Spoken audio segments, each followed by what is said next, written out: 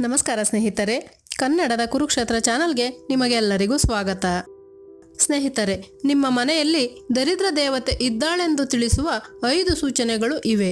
ಹಾಗಾದರೆ ನಿಮ್ಮ ಮನೆಯಲ್ಲಿ ದರಿದ್ರ ದೇವತೆ ಇದ್ದಾಳೋ ಅಥವಾ ಇಲ್ಲವೋ ಎಂಬುದನ್ನು ತಿಳಿಯಬೇಕಾದರೆ ಈ ವಿಡಿಯೋವನ್ನು ಖಂಡಿತವಾಗಿಯೂ ಎಲ್ಲಿಯೂ ಸ್ಕಿಪ್ ಮಾಡದೆ ಕೊನೆವರೆಗೂ ನೋಡಿ. ಹಾಗೆಯೇ ಒಂದೇ ಒಂದು ಲೈಕ್ ಮಾಡಿ. ಸ್ನೇಹಿತರೆ, ನಿಮ್ಮ ಮನೆಯಲ್ಲಿ ದರಿದ್ರ ದೇವತೆ ಇದ್ದಾಳೋ ಇಲ್ಲವೋ ಎಂಬುದನ್ನು ತಿಳಿಸುವ ಐದು ಸೂಚನೆಗಳು ಇವೆ.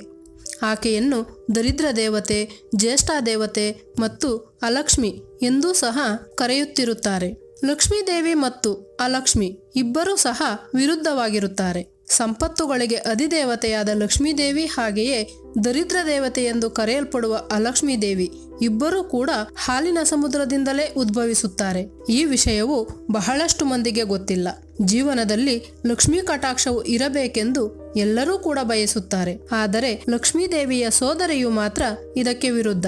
ಆಕೆಯ ಹೆಸರು ಅಲಕ್ಷ್ಮೀ ದೇವಿ ಹಾಲಿನ ಸಮುದ್ರವನ್ನು ಒದಿಸಿದಾಗ ದರಿದ್ರ ದೇವತೆ ಹುಟ್ಟಿದಳು. ಈ ದರಿದ್ರ ದೇವತೆಯ ನಂತರ ಆಲಾಹಲ ಹುಟ್ಟಿತು. ಆನಂತರ ಲಕ್ಷ್ಮೀದೇವಿಯು ಹುಟ್ಟಿದಳು. ಲಕ್ಷ್ಮೀದೇವಿ ಹುಟ್ಟಿದ ನಂತರ ಅಮೃತ ಕಲಶದಿಂದ ಧನ್ವಂತರಿ ಅವತರಿಸುತ್ತಾರೆ. ಹಾಲಿನ ಸಮುದ್ರದಿಂದ ಹುಟ್ಟಿದ ಲಕ್ಷ್ಮೀದೇವಿಯನ್ನು ತಾನು ವಿವಾಹ ಮಾಡಿಕೊಳ್ಳಬೇಕೆಂದು ವಿಷ್ಣುಮೂರ್ತಿಯು ಬಯಸುತ್ತಾರೆ. ಆದರೆ ಆಗ ಲಕ್ಷ್ಮೀದೇವಿಯು ತನಗಿಂತ ಹಿರಿಯಳಾದ ತನ್ನ ಸೋದರಿಯ ವಿವಾಹವಾದ ನಂತರವೇ ತಾನು ವಿವಾಹ ಮಾಡಿಕೊಳ್ಳುತ್ತೇನೆಂದು ಹೇಳುತ್ತಾಳೆ. ಇದರಿಂದ ಅಲಕ್ಷ್ಮಿಗೆ ಸರಿಹೊಂದುವ ವರನಿಗೋಸ್ಕರ ಶ್ರೀಹರಿಯು ಎಷ್ಟು ಹುಡುಕಾಡಿದರೂ ಕೂಡ ಪ್ರಯೋಜನವಾಗಲಿಲ್ಲ. ಆಕೆಯನ್ನು ಮದುವೆ ಮಾಡಿಕೊಳ್ಳಲು ಯಾರೂ ಕೂಡ ಅಂಗೀಕರಿಸುವುದಿಲ್ಲ. ಕೊನೆಯದಾಗಿ ಉದ್ದಾಲಕ ಮಹರ್ಷಿಗಳು ಒಪ್ಪಿಕೊಂಡು ಆಕೆಯನ್ನು ವಿವಾಹವಾಗುತ್ತಾರೆ. ಅಲಕ್ಷ್ಮಿಗೆ ಕಾರ ಮತ್ತು ಹುಳಿ ಪದಾರ್ಥಗಳೆಂದರೆ ಬಹಳ ಇಷ್ಟ.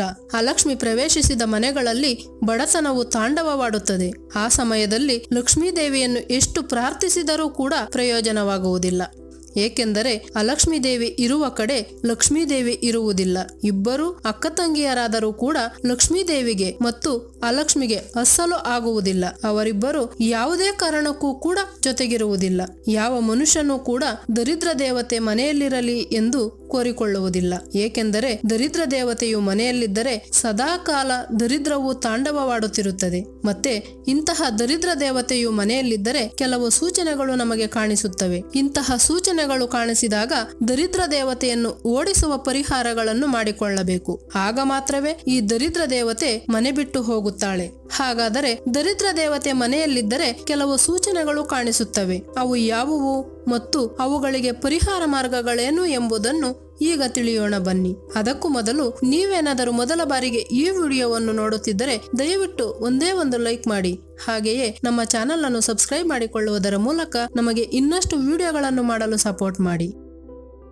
ಸ್ನೇಹಿತರೆ, ದರಿದ್ರ ದೇವತೆ ಮನೆಯಲ್ಲಿದ್ದರೆ ಆ ಮನೆಯಲ್ಲಿನ ಸದಸ್ಯರು ಯಾವಾಗಲೂ ಕೂಡ ಉತ್ಸಾಹವಿಲ್ಲದೆ, ನೀರಸವಾಗಿ ಯಾವುದೇ ಕೆಲಸ ಕಾರ್ಯಗಳಲ್ಲೂ ಕೂಡ ಉತ್ಸಾಹವಿಲ್ಲದೆ ಇರುತ್ತಾರೆ. ಅಂತಹ ಸಮಯದಲ್ಲಿ ದರಿದ್ರ ದೇವತೆ ಕಾಲಿಟ್ಟಿದ್ದಾಳೆ ಎಂದು ಅರ್ಥ ಮಾಡಿಕೊಳ್ಳಬಹುದು. ಇನ್ನು ಕೆಲವರ ಮನೆಗಳನ್ನು ನೋಡಿದಾಗ ಅವರು ಯಾವುದೇ ಕೆಲಸವನ್ನು ಕೂಡ ಬೇಗ ಬೇಗ ಮಾಡುವುದಿಲ್ಲ. ಎಲ್ಲಾ ಕೆಲಸಗಳನ್ನು ಸಹ ಮುಂದೂಡುತ್ತಿರುತ್ತಾರೆ. ಉದ್ಯೋಗಕ್ಕಾಗಲಿ ಅಥವಾ ಓದುವುದಕ್ಕಾಗಲಿ ಯಾವುದರಲ್ಲಿಯೂ ಕೂಡ ಅವರಿಗೆ ಆಸಕ್ತಿ ಇರುವುದಿಲ್ಲ. ಪ್ರತಿಯೊಂದು ವಿಷಯದಲ್ಲೂ ಕೂಡ ನಿರಾಸಕ್ತಿಯೇ. ಇಂತಹ ಮನೆಗಳಲ್ಲಿ ಖಂಡಿತವಾಗಿಯೂ ದರಿದ್ರ ದೇವತೆ ಇದ್ದೇ ಇರುತ್ತಾಳೆ. ಜ್ಯೇಷ್ಠಾದೇವಿ ಎಂಬ ಹೆಸರಿನಿಂದಲೂ ಕೂಡ ಅಲಕ್ಷ್ಮಿಯನ್ನು ಕರೆಯುತ್ತಿರುತ್ತಾರೆ. ಮತ್ತೆ ಈ ಜ್ಯೇಷ್ಠಾದೇವಿ ಇದ್ದಾಳೆ ಎಂಬುದಕ್ಕೆ ಎರಡನೇ ಸೂಚನೆ ಎಂದರೆ ಈ ಜ್ಯೇಷ್ಠಾದೇವಿ ಯಾವ ಮನೆಯಲ್ಲಿರುತ್ತಾಳೋ ಆ ಮನೆಯಲ್ಲಿ ಮಕ್ಕಳು ತಂದೆ ತಾಯಿಯರ ಮತ್ತು ಹಿರಿಯರ ಮಾತುಗಳನ್ನು ಕೇಳುವುದಿಲ್ಲ. ಯಾವಾಗಲೂ ಕೂಡ ಅವರಿಗೆ ಎದುರು ಮಾತಾಡುತ್ತಾರೆ. ಗುರು ಹಿರಿಯರನ್ನು ಅಸಲು ಗೌರವಿಸುವುದಿಲ್ಲ. ಹಾಗೆಯೇ ಮಹಿಳೆಯರು ಸುಖಾಸುಮ್ಮನೆ ಅಳುವುದು, ಪ್ರತಿಯೊಂದಕ್ಕೂ ಜಗಳ ಮಾಡುವುದು,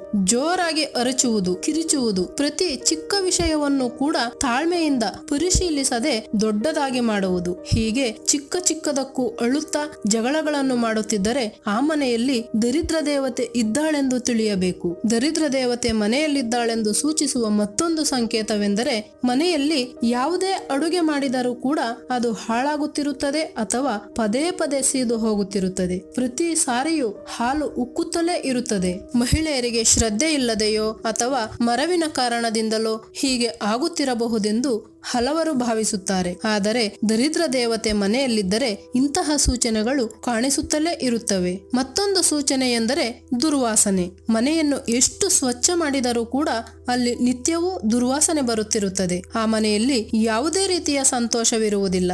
ಯಾವುದಾದರೂ ಕೆಲಸವನ್ನಾಗಲಿ ಸಂತೋಷದಿಂದ ಮಾಡೋಣವೆಂದು ನಿರ್ಧರಿಸಿದರೂ ಕೂಡ ಕೊನೆಯದಾಗಿ ನಿರಾಸೆಯಾಗುತ್ತದೆ. ಮನಸ್ಸು ಯಾವಾಗಲೂ ಏನೋ ಒಂದು ರೀತಿಯ ಭಾರವಾಗಿರುತ್ತದೆ. ಇಂತಹ ಸೂಚನೆಗಳು ಯಾವ ಮನೆಯಲ್ಲಿ ಕಂಡುಬರುತ್ತದೋ ಅಲ್ಲಿ ದರಿದ್ರ ದೇವತೆ ತಾಂಡವವಾಡುತ್ತಿರುತ್ತಾಳೆ. ಮತ್ತೆ ಈ ದರಿದ್ರ ದೇವತೆಯನ್ನು ಮನೆಯಿಂದ ಹೊರಗೆ ಕಳಿಸಬೇಕೆಂದರೆ ಕೆಲವು ಪ್ರತ್ಯೇಕ ಮಾರ್ಗಗಳನ್ನು ಅನುಸರಿಸಬೇಕು. ಅವುಗಳೆಂದರೆ ಪ್ರತಿದಿನವೂ ಸ್ನಾನದ ನಂತರ ಸ್ವಲ್ಪ ಅರಿಶಿನವನ್ನು ನೀರಿನಲ್ಲಿ ಬೆರೆಸಿ ಆ ಅರಿಶಿನದ ನೀರನ್ನು ಮನೆಯ ಮೂಲೆ ಮೂಲೆಯಲ್ಲೂ ಸಿಂಪಡಿಸಬೇಕು. ಹಾಗೆ ಚೆಲ್ಲುವುದರಿಂದ ದರಿದ್ರ ದೇವತೆ ಮನೆ ಬಿಟ್ಟು ಹೋಗುತ್ತಾಳೆ. ಲಕ್ಷ್ಮೀ ದೇವಿಯು ಆಗಮಿಸುತ್ತಾಳೆ. ಹಾಗೆಯೇ ಆಗಾಗ ತಿಂಗಳಿಗೊಮ್ಮೆಯಾದರೂ ಮನೆಯಲ್ಲಿ ಜೇಡರ ಬಲೆಗಳಿದ್ದರೆ ಎಲ್ಲವನ್ನೂ ತೊಡೆದು ಹಾಕಿ ಮನೆಯನ್ನು ಸ್ವಚ್ಛ ಮಾಡುತ್ತಿರಬೇಕು. ಪ್ರತಿದಿನವೂ ಕೂಡ ಮನೆಯಲ್ಲಿ ಅಗರಬತ್ತಿಗಳನ್ನು ಹಚ್ಚಬೇಕು. ಅದರ ಜೊತೆ ಒಣಕೊಬ್ಬರಿ ಪುಡಿಯ ಜೊತೆ ಸಾಂಬ್ರಾಣಿಯನ್ನು ಅಥವಾ ಧೂಪವನ್ನು ವಾರಕ್ಕೆ ಒಮ್ಮೆಯಾದರೂ ಮನೆಯಲ್ಲಿ ಹಾಕಬೇಕು. ಹೀಗೆ ಮಾಡಿದಾಗ ದರಿದ್ರ ದೇವತೆಯು ಮನೆ ಬಿಟ್ಟು ಓಡಿ ಹೋಗುತ್ತಾಳೆ. ದರಿದ್ರ ದೇವತೆಯು ಮನೆಯಲ್ಲಿದ್ದಾಳೆ ಎಂಬ ಸೂಚನೆಗಳು ನಿಮಗೆ ಸಿಕ್ಕಾಗ ಇಂತಹ ಚಿಕ್ಕ ಚಿಕ್ಕ ಪರಿಹಾರಗಳನ್ನು ತಪ್ಪದೆ ಮಾಡಬೇಕು. ಆಗ ದರಿದ್ರ ದೇವತೆಯು ಮನೆ ಬಿಟ್ಟು ಹೋಗುತ್ತಾಳೆ. ಈಗ ಯಾವ ಯಾವ ಕೆಲಸ ಕಾರ್ಯಗಳನ್ನು ಮಾಡುವುದರಿಂದ ದರಿದ್ರ ದೇವತೆಯು ನಮ್ಮ ಮನೆಗೆ ಆಕರ್ಷಿತಳಾಗುತ್ತಾಳೆ ಎಂಬುದನ್ನು ನೋಡೋಣ. ಸ್ನೇಹಿತರೆ, ನಾವು ನಮ್ಮ ಜೀವನದಲ್ಲಿ ತಿಳಿಯದೆ ಬಹಳಷ್ಟು ತಪ್ಪುಗಳನ್ನು ಮಾಡುತ್ತಿರುತ್ತೇವೆ. ಕೆಲವೊಂದನ್ನು ಅವು ಚಿಕ್ಕ ತಪ್ಪುಗಳಲ್ಲವೇ ಎಂದು ಅವುಗಳನ್ನು ನಿರ್ಲಕ್ಷಿಸುತ್ತಿರುತ್ತೇವೆ. ಆದರೆ ಕೆಲವೊಂದು ಬಾರಿ ಅವೇ ನಮ್ಮ ಪಾಲಿನ ಶಾಪಗಳಾಗಿ ಬದಲಾಗುತ್ತವೆ. ನಮ್ಮ ಮನೆಗಳಲ್ಲಿ ದರಿದ್ರ ದೇವತೆ ನೆಲೆಯೂರಲು ಕಾರಣವಾಗುತ್ತವೆ. ಅವುಗಳೆಂದರೆ ಬೆಳಗಿನ ಜಾವ, ಬೆಳಕು ಹರಿಯುವವರೆಗೂ, ತುಂಬಾ ಸಮಯದವರೆಗೂ ನಿದ್ರಿಸಬಾರದು. ಬಹಳಷ್ಟು ಮನೆಗಳಲ್ಲಿ ಸೂರ್ಯ ಉದಯಿಸಿ ಎರಡು ಮೂರು ಗಂಟೆಗಳಾದರೂ ಕೂಡ ಇನ್ನೂ ಮಲಗಿಯೇ ಇರುತ್ತಾರೆ. ಆದರೆ ಹಾಗೆ ಮಾಡಬಾರದು. ಹಾಗೆ ಮಾಡಿದಾಗ ದರಿದ್ರ ದೇವತೆ ಅಂತಹ ಮನೆಗಳಿಗೆ ಆಕರ್ಷಿತಳಾಗುತ್ತಾಳೆ. ಆ ರೀತಿಯಾಗಿ ದರಿದ್ರ ದೇವತೆ ನಿಮ್ಮ ಮನೆಗೆ ಆಕರ್ಷಿತಳಾಗಬಾರದು ಎಂದರೆ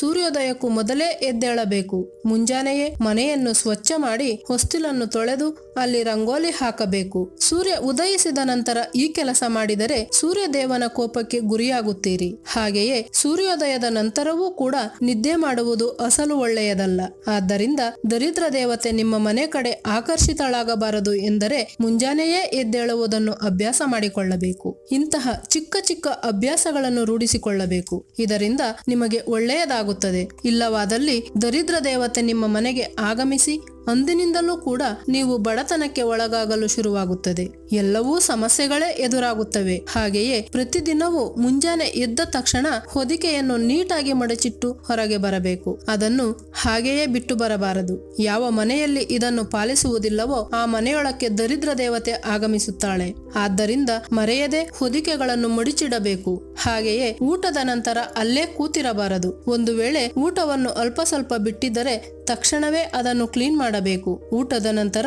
ಕೈ ತೊಳೆಯದೆ ಹಾಗೆ ಕೂತಿದ್ದರೆ ದರಿದ್ರ ದೇವತೆಯು ಕೂಡ ನಿಮ್ಮ ಜೊತೆಯೇ ಕುಳಿತು ಬಿಡುತ್ತಾಳೆ ದರಿದ್ರ ದೇವತೆ ಆಕರ್ಷಿತಳಾಗುವ ಮನೆಗಳಲ್ಲಿ ಯಾವಾಗಲೂ ಸಹ ಯಾರಾದರೂ ಒಬ್ಬರು ಅನಾರೋಗ್ಯಕ್ಕೆ ಗುರಿಯಾಗುತ್ತಿರುತ್ತಾರೆ. ಬಟ್ಟೆಗಳನ್ನು ಯಾವಾಗಲೂ ಶುಭ್ರವಾಗಿಟ್ಟುಕೊಳ್ಳಬೇಕು. ತುಂಬಾ ದಿನಗಳವರೆಗೂ ಒಗೆಯದ ಬಟ್ಟೆಗಳನ್ನು ಹಾಗೆಯೇ ಮನೆಯಲ್ಲಿ ಇಟ್ಟುಕೊಳ್ಳಬಾರದು. ಆದಷ್ಟು ಬೇಗ ಅವುಗಳನ್ನು ವಾಶ್ ಮಾಡಿ ಒಣಗಿಸಿಡಬೇಕು ಮತ್ತು ಬಟ್ಟೆ ವಾಶ್ ಮಾಡಿದ ನೀರನ್ನು ಕಾಲುಗಳಿಗೆ ಹಾಕಿಕೊಳ್ಳಬಾರದು. ನಂತರ ಅಡುಗೆ ಮನೆಯಲ್ಲಿ ಪಾತ್ರೆಗಳನ್ನು ಇಳಿಸಲು ಬಳಸಿದ ಮಸಿ ಬಟ್ಟೆಗಳನ್ನು ಸಾಯಂಕಾಲದ ಸಮಯದಲ್ಲಿ ವಾಶ್ ಮಾಡಬಾರದು. ಪೊರಕೆಯನ್ನು ಮನೆಯ ಯಾವುದೇ ಜಾಗದಲ್ಲಾಗಲಿ day ನಿಲ್ಲಿಸಿಡಬಾರದು. ಮಲಗಿಸಿಯೇ ಇಡಬೇಕು. ಸಾಯಂಕಾಲದ ವೇಳೆಯಲ್ಲಿ ನಿದ್ದೆ ಮಾಡಬಾರದು. ಹಾಗೆಯೇ ದಂಪತಿಗಳು ಕೂಡ ಸಾಯಂಕಾಲದ ಗೋಧೂಳಿಯ ಸಮಯದಲ್ಲಿ ಒಂದಾಗಬಾರದು. ಯಾರ ಬಳಿಯೂ ಕೂಡ ಸುಖ ಸುಮ್ಮನೆ ಜಗಳವಾಡಬಾರದು. ಅವಾಚ್ಯ ಶಬ್ದಗಳನ್ನು ಬಳಸಬಾರದು. ಸಾಯಂಕಾಲ ಆರರ ನಂತರ ಮನೆಗೆ ಉಪ್ಪು, ಸೂಜಿಗಳು, ಮೊಟ್ಟೆಗಳು ಮತ್ತು ಎಣ್ಣೆ ಇವೆಲ್ಲವನ್ನು ಒಟ್ಟಿಗೆ ತರಬಾರದು. ಹಾಗೆಯೇ ಇವುಗಳನ್ನು ಸಾಯಂಕಾಲದ ಸಮಯದಲ್ಲಿ